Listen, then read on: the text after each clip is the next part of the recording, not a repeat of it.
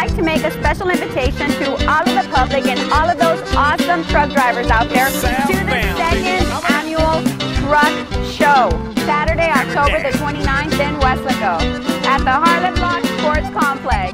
We're inviting all truckers, truck drivers, and their families to the second annual South Texas Truck Show.